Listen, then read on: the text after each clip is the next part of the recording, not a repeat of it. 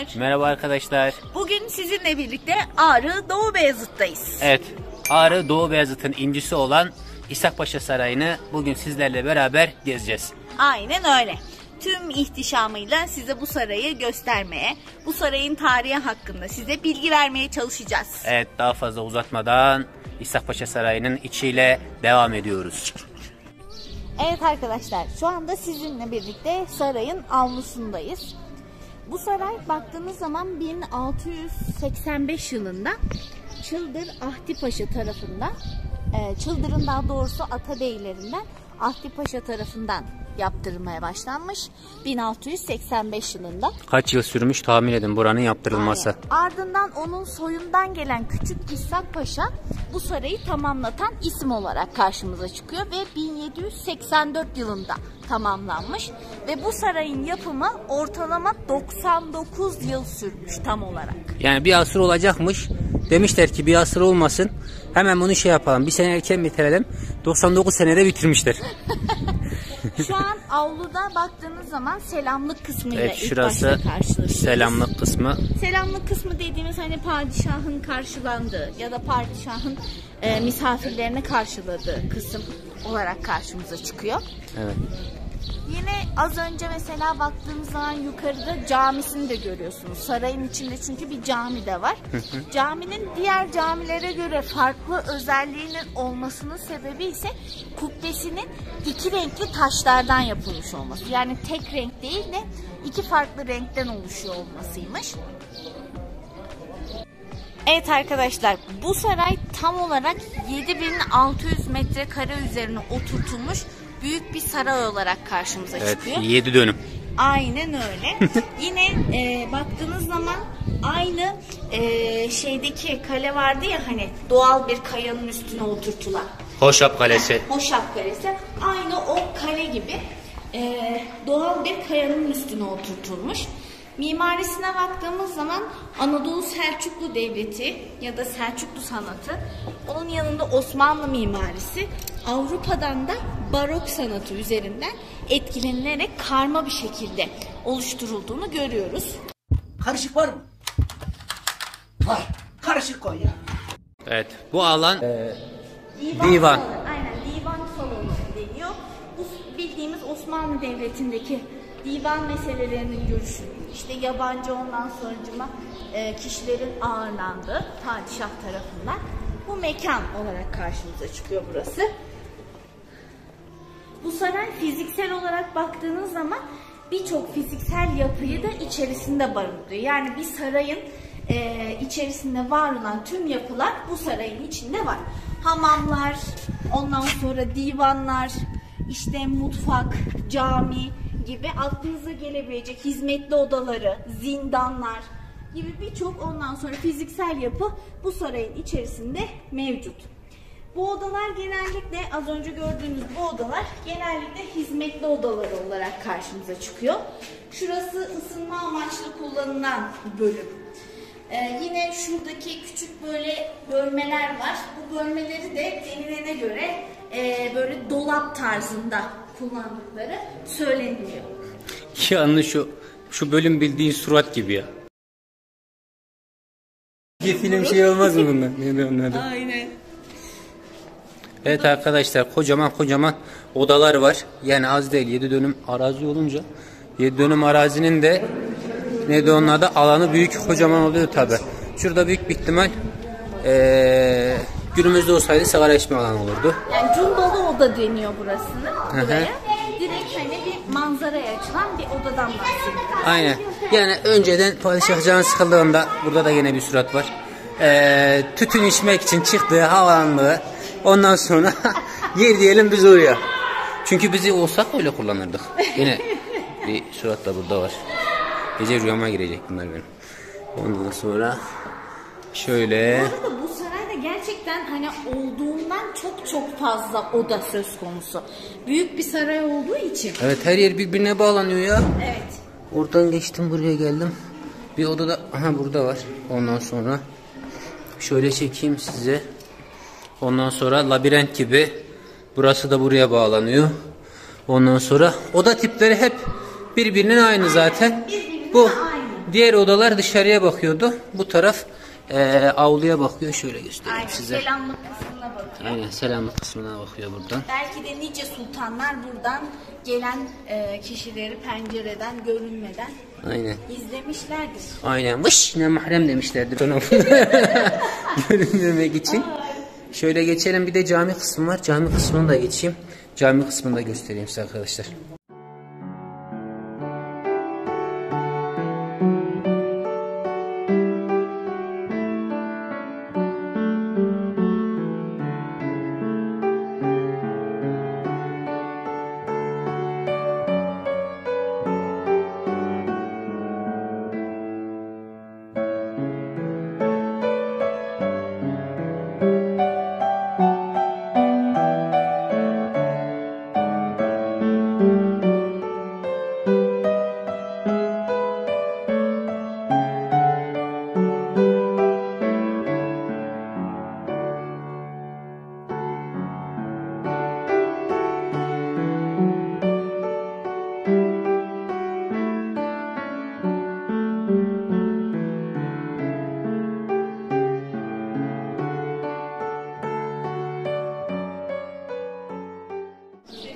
Evet selamlık ve sarayın camisinden sonra şimdi de şöyle bu alandan içeriye doğru bir gidelim.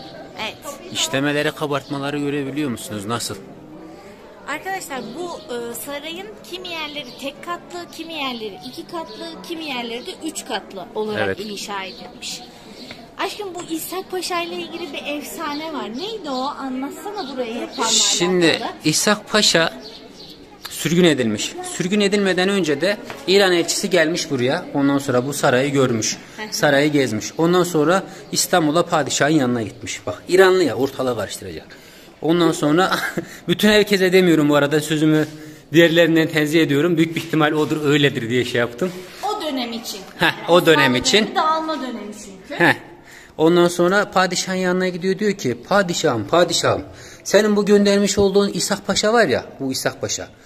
Şöyle göstereyim şurayı da bu arada.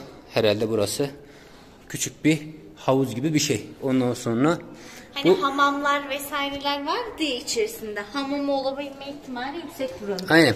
Diyor ki padişahım padişahım senin bu gönderdiğin İshak Paşa var ya bu ondan sonra bir saray yaptırmış bir saray yaptırmış. Yani senin yapmış olduğun bu Topkapı Sarayı ne? Yani böyle bir Topkapı Sarayı yok yani anladın mı? O saray demiş O bunun demiş. ihtişamlı Ha. Topkapı Sarayı yanında halt etmiş. Aynen beş basar demiş ya böyle bir saray yok demiş ondan sonra. Padişah da bunu duyunca demiş ki sen misin? Ondan sonra Bu sarayı yapmış. bu sarayı yaptıran. Hemen demiş alın kellesini tabii ki alın kellesini deme- dememiş. Hemen Elçileri demiş gönderiyor. elçilerini göndermiş buraya demiş gidin bakın öyle mi değil mi? Ondan sonra ne olmuş? Daha sonra gelip bakıyorlar tabii elçiler. Buranın ondan sonra çok ihtişamlı bir yer olduğunu görüyorlar. En az Topkapı Sarayı kadar. Dönüp padişahla tabii ondan sonra biraz da böyle abartarak, mübalağa yaparak anlatıyorlar. Evet ne Anlat- diyorlar ağanın? Tabii olay kopuyor. Aynen. Ondan sonra İshak Paşa sürgün ediliyor. İkinci bir rivayet daha var. 1800'lü yılları olduğu için bu dönemde Osmanlı Devleti dağılma, çöküş döneminde e, buradan topladığı vergileri İstanbul'a göndermek yerine İshak Paşa bu saraya harcıyor. Bu saraya harcadığını padişah duyunca otomatikman yine sürgün edilmesini istiyor. Yani rivayetlerden biri oydu. Biri de Aynen öyle. bu. Ha bu arada az önce geçtiğimiz karanlık kısım sarayın mutfağıydı. Yemek pişirilen kısımdı. Burası da Hasbahçe'ye giden yermiş. Evet. Ondan sonra şöyle çekelim. Şu kısım harem odaları. Harem odalarına girelim aman padişah görmesin. Destur falan. Destur diyelim. Şöyle ince uzun bir yer var. Bunlar büyük bir ihtimal hanımefendilerin Yine- kaldıkları. O odalar. Hizmetlilerin odaları vesaireleri. Bu arada arkadaşlar Her yer birbirine bu bağlantılı. sarayla ilgili çok acı bir durum söz konusu. Çünkü bu sarayın ana kapısı eee, hem korunaklı olması açısından eee, hem de aynı zamanda ihtişamını göstermesi açısından en sarp kısma yapılmış. Ama bu sarp kısma yapılmasına rağmen son çelik ve altın kaplama olduğu söyleniyor ya da tamamen som altından yapıldığı söyleniyor. Yani bu şey vardı ya milletten paraları toplayıp ondan sonra İstanbul'a göndermek yerine kendi sarayını bitirmeye çalışmış meselesi. Ama- Onlardan biri de bu işte. Ama işte o som altın kapı maalesef orijinal değil. Çünkü Ruslar tarafından kaçırılmış ve Rusya'da bugün e, yine önemli müzelerden bir tanesinde sergilenmekte. Maalesef ki böyle acıda bir durum söz konusu. Yani kapımızı götürmüşler. Kapısına sahip çıkmayanın kapısını götürürler arkadaşlar. Yapacak daha bir şey yok. tekrardan gidelim mi? Hocam vallahi çok güzel anlatıyorsunuz. Keşke bana bir kat atma anlatsanız. Teşekkür ederiz abi. Rehberler var valla. Biz öyle okuduklarımıza şey yapıyoruz. Aynen. Aynen. araştırmalarımızdan. Buraya geldim de haber yok. Kolay gelsin abi sağ olasın. Evet arkadaşlar bu bölümde muayyede salonu. Muayyede demek ne demekti? Muayene demek burada e, şöyle söyleyeyim kendi aile bireyleriyle padişahın vakit geçirdiği salon. Ha, aynı zamanda burası toplantı salonu Aynen, olarak da özel- kullanılıyor. Özel insanlarla vakit geçirdiği salon. Bu arada arkadaşlar bu sarayın aynı zamanda Türkiye için önemli bir özelliği var. Burası gerçekten de kaloriferli sistemle yani merkezi ısıtma sistemiyle yapılmış ilk saray. Yerden ısıtmalı mı yoksa Hiçbir fikrim yok o konuda ama kömürlü mü? Sol... Onlar, onlar önemli. Şimdi kaloriferi yaktık bunun külünü kim atacak etrafa? Kim çıkartacak? Koca saray. Orasını bilmiyorum ama Ağızkalı mimarlar tarafından yapılmış burası ve hani Türkiye'nin ilk merkezi ısıtma sistemine sahip saray olduğu biliniyor. Vay be sahibinden merkezi ısıtmalı saray.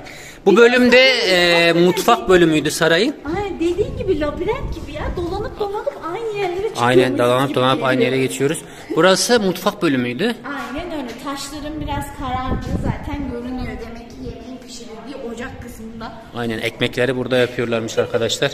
Ondan sonra şöyle ekmeksiz mi yaşayacaklar?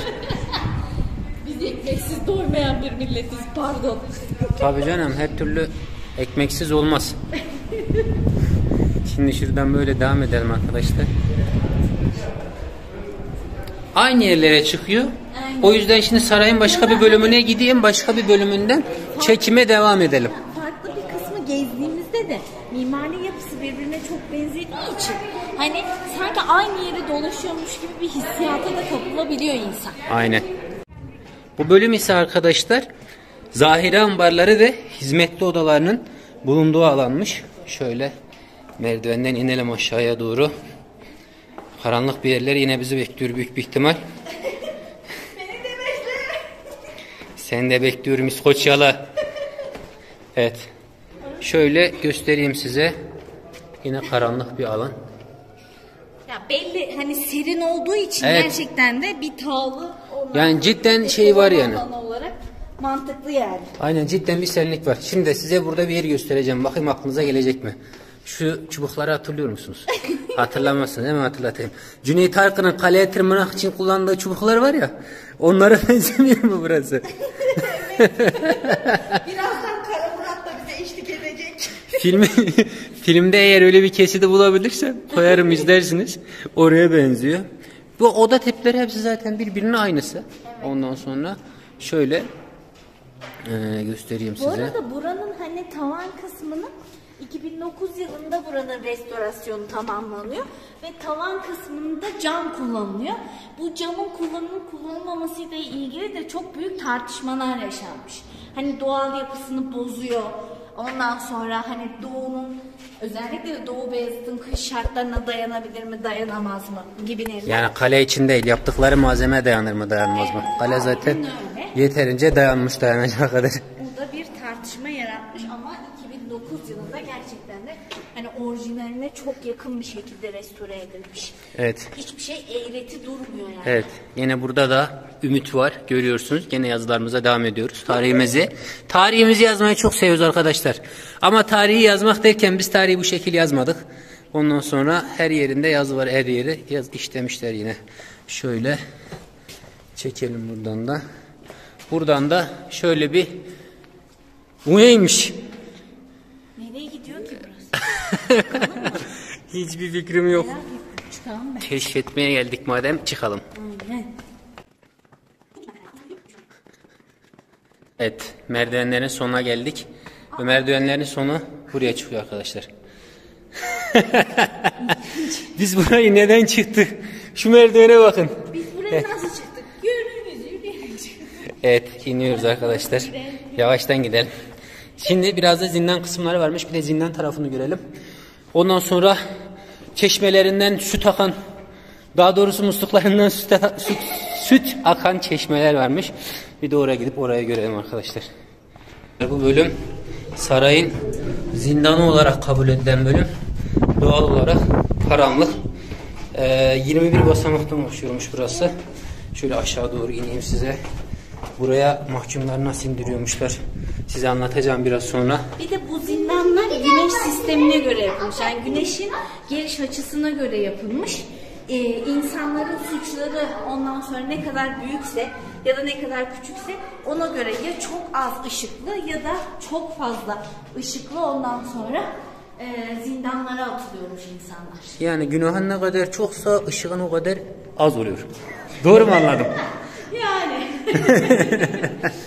Burada aynı zamanda muhafız odaları da varmış.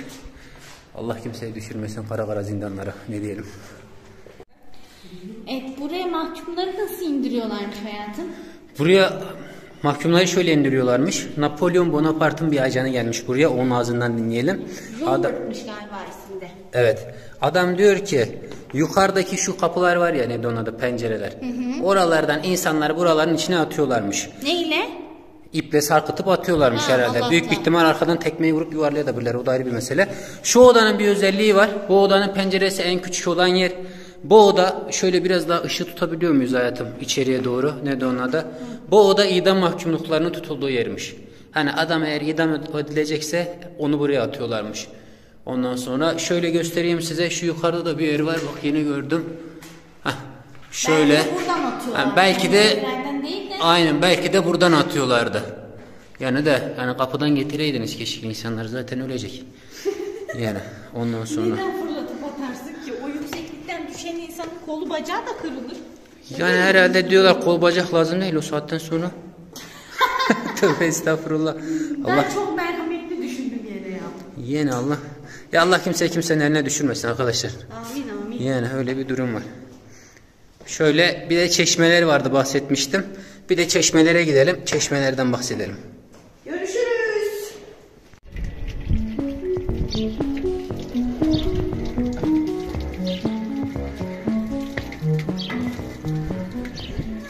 Evet, şu anda değer Süt Çeşmesi'nin önündeyiz.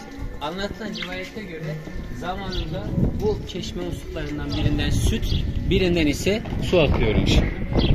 Evet bu süt dışarıda Doğu Beyazıt köyünden hayvanlardan sağlanan sütler süt kanalları dediğimiz kanallarla buraya saraya taşınıyormuş. Yani şöyle düşünün su kanalı gibi düşünebilirsiniz bu süt kanallarını. Birinden süt akıyormuş, birinden de su akıyormuş çeşme oluklarından. Saray ahalisinde padişahtan tutun da ondan sonracıma sarayda artık kim varsa içerideki insanlar bunlardan yararlanabiliyorlarmış. Evet arkadaşlar şu anda karşıda görmüş olduğunuz türbe Ahmedi Hani Türbesi. Ahmedi Hani Osmanlı İmparatorluğu'nda medresede müderrislik yapmış bir ilim insanı olarak karşımıza çıkıyor.